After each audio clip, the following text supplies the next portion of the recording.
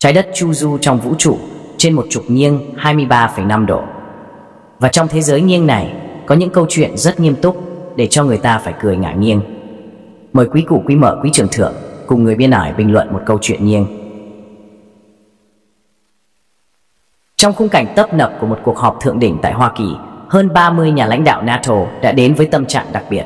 Không phải là sự chờ đợi gặp gỡ Tổng thống đương nhiệm Joe Biden, mà họ đều nóng lòng mong đợi cuộc hội đàm với cựu Tổng thống Donald Trump. Điều này không khỏi gây bất ngờ và gợi lên nhiều suy nghĩ về lý do đằng sau ánh mắt van lơn cầu xin của các nhà lãnh đạo khi được gặp ông Trump. Nỗi mừng vui và kỳ vọng. Mặc dù không còn giữ chức vụ cao nhất của nước Mỹ, Donald Trump vẫn là một nhân vật gây nhiều ảnh hưởng và sự chú ý. Với những chính sách mạnh mẽ và cách tiếp cận quyết đoán trong nhiệm kỳ của mình, Trump đã để lại dấu ấn sâu sắc trong lòng nhiều nhà lãnh đạo quốc tế.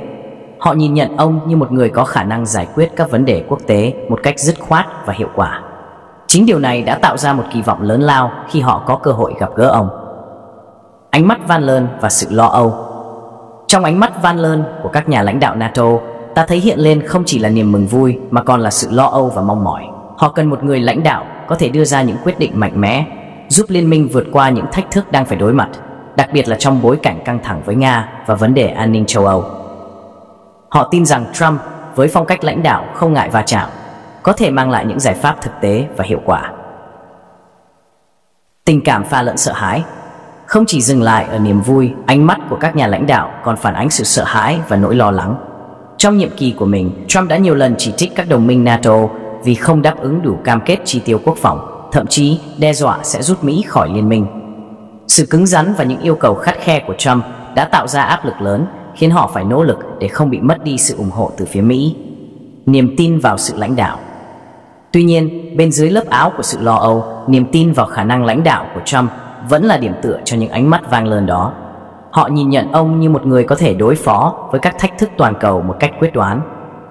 Trump đã từng thúc đẩy NATO tăng cường chi tiêu quốc phòng, điều mà nhiều nhà lãnh đạo tin rằng là cần thiết để duy trì sự ổn định và an ninh của liên minh. Cuộc gặp gỡ giữa các nhà lãnh đạo NATO và Donald Trump tại Mỹ không chỉ là một sự kiện chính trị đơn thuần, mà còn là một biểu hiện sâu sắc của tâm lý và kỳ vọng trong bối cảnh quốc tế phức tạp.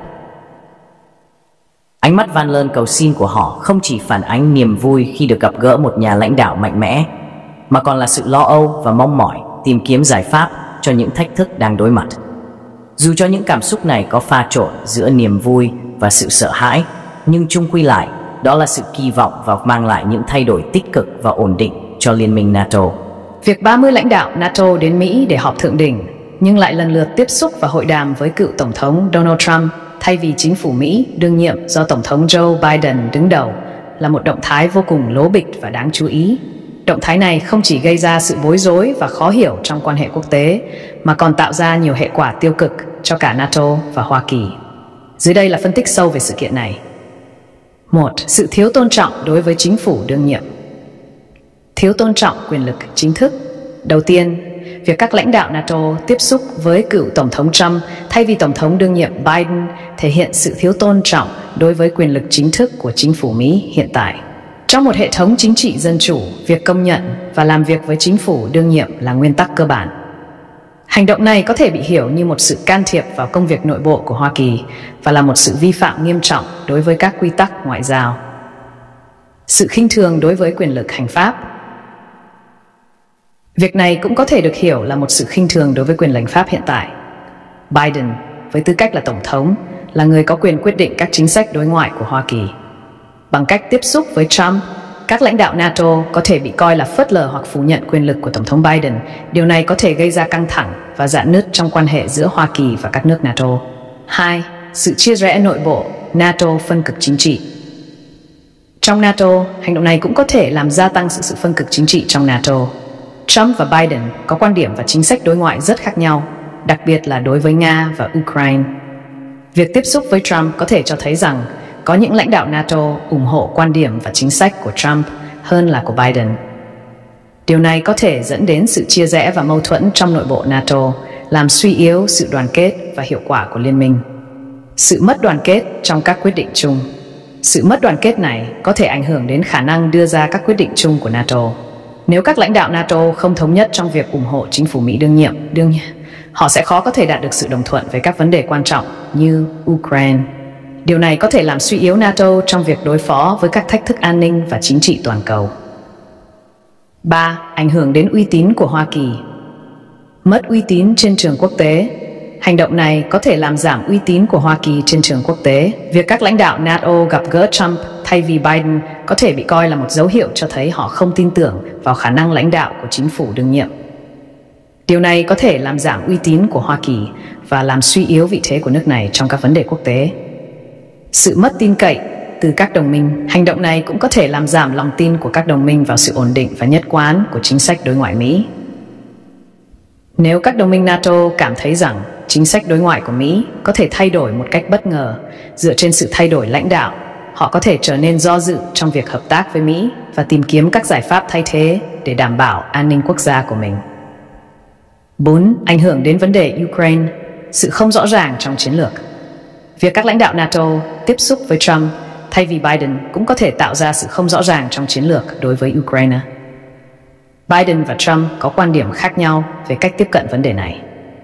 Việc tiếp xúc với Trump có thể gây ra sự mâu thuẫn và không nhất quán trong các quyết định và hành động của NATO đối với Ukraine, làm suy yếu khả năng hỗ trợ và bảo vệ Ukraine trước sự đe dọa từ Nga, làm suy yếu các biện pháp trừng phạt đối với Nga.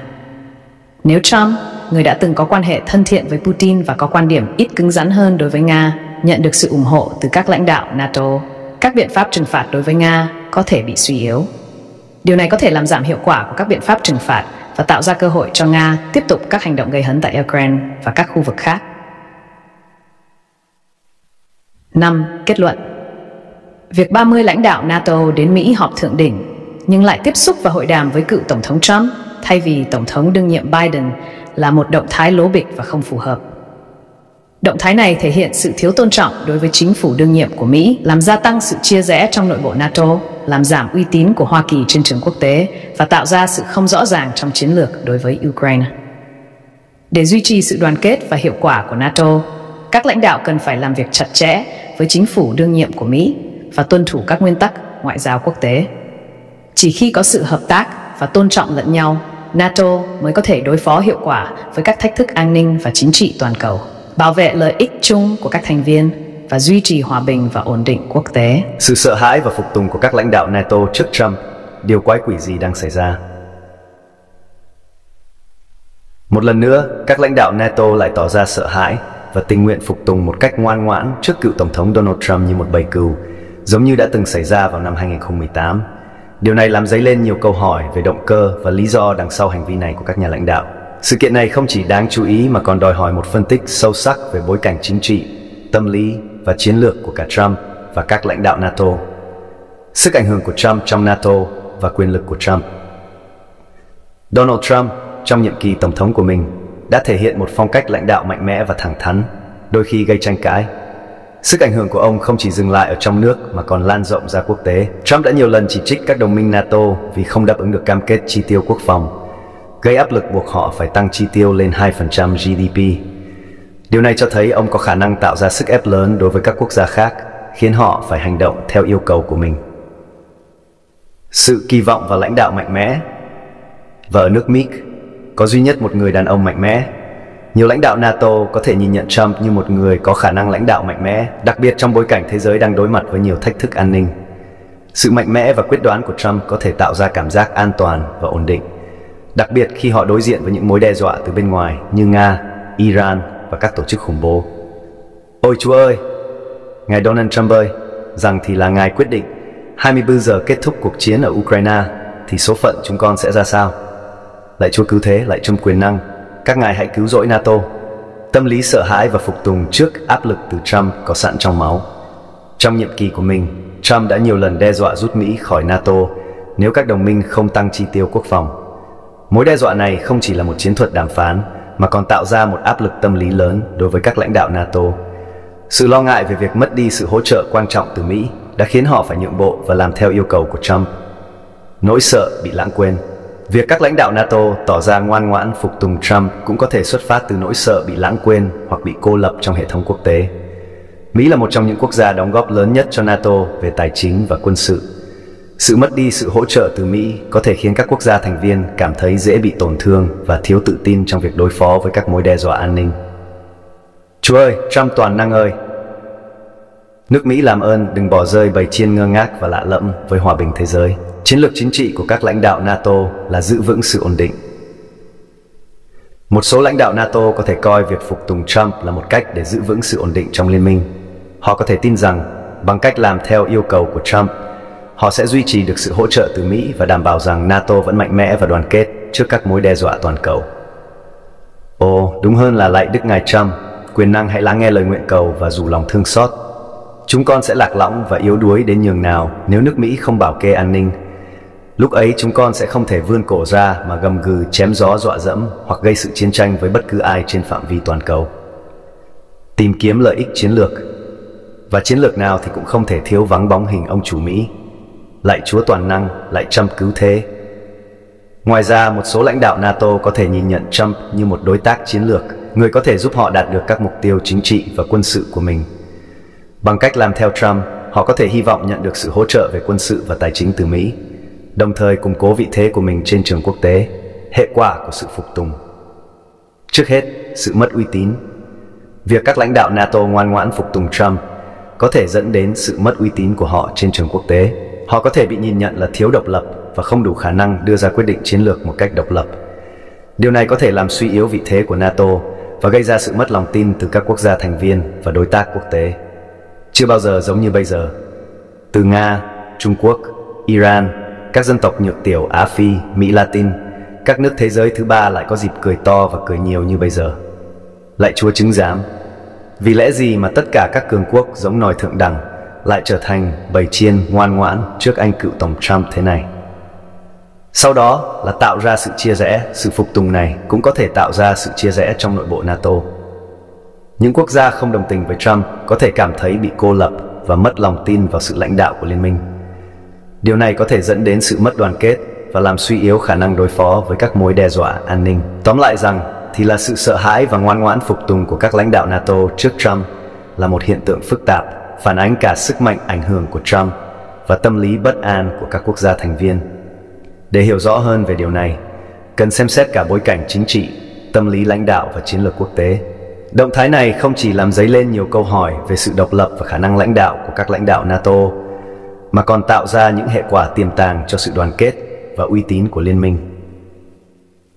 Để duy trì sự ổn định và mạnh mẽ của NATO, các lãnh đạo cần phải thể hiện sự quyết đoán và độc lập trong các quyết định của mình, đồng thời duy trì sự hợp tác chặt chẽ với chính phủ Mỹ đương nhiệm và các đối tác quốc tế khác.